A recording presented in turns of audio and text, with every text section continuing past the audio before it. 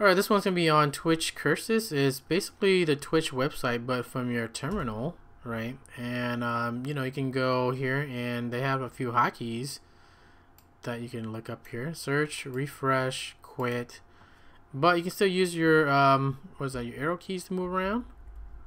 Or you can use your Vim hotkeys to, you know, navigate around here. And let's say I want to pick one here. Let's go to... Uh, Counter-Strike. Hopefully they don't give us a copyright or something.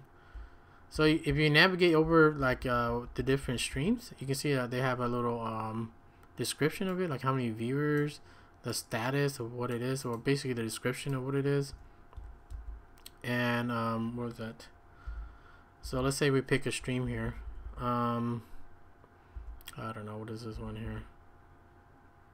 We, we don't want to use any cups or what is this here. There you go. Let's say this one or whatever and it'll play the stream. Uh, I set it up to use MPV. Uh, by default, it uses. Uh, we'll mute that here. But you see here, it's playing uh, the game here. You can go full screen. Uh, you can rescale it if you want, right? And you're not using the website because uh, you know that thing takes up a lot of resources too.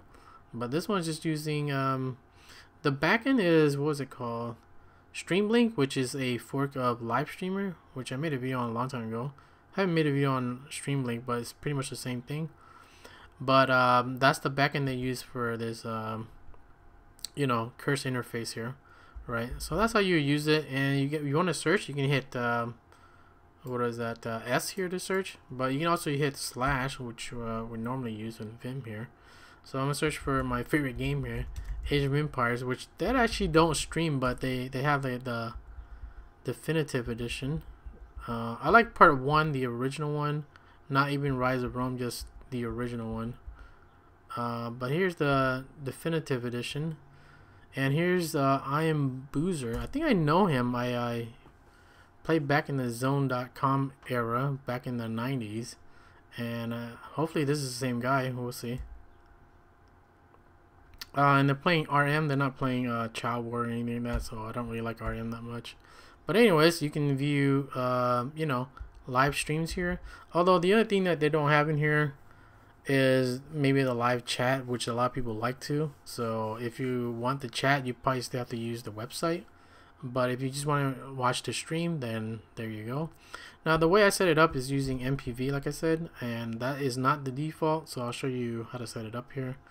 So bust out your Streamlink um, configuration file here.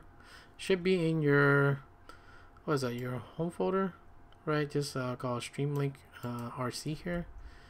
And pretty much this is what I have for uh, MPV here. I like to cache it by 2 megs so maybe don't get lag in the beginning. And uh, I like it in the corner, right? Because I, I want to watch it, but I don't want to like fill up my whole screen uh, if I don't want to.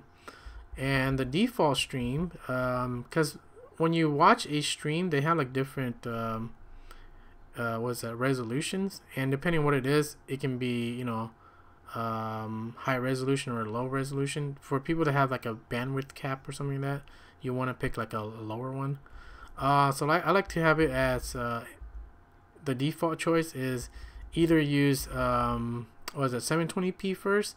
If they do not have a 720p then skip on to the next one to the next one and so on and so forth right? So if they don't have like 720p 1080p or 480p then uh, pick the minimum so the, the was that the, the the middle one. And then if they don't have the middle one go with the best one all right? Fuck it. There's no bandwidth cap with uh, the best one here. Anyways uh, that's how you set up Link will be in the description uh, for the configurations if you want. Anywho, that's it for the program. If you want to watch uh, live streams without the web browser uh, from Twitch here, that'll be it for this one.